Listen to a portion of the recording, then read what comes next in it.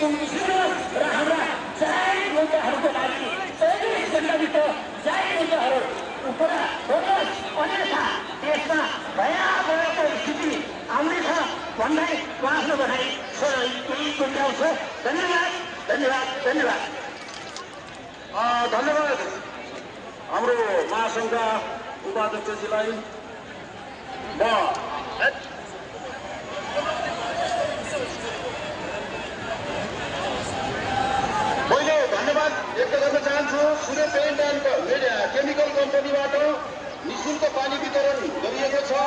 यसका provider Laxmi Prasad Subedi general manager Deepak Tiwari लगायतको टिमलाई नेपाल शिक्षक महासङ्घ हार्दिक धन्यवाद ज्ञापन गर्दछ।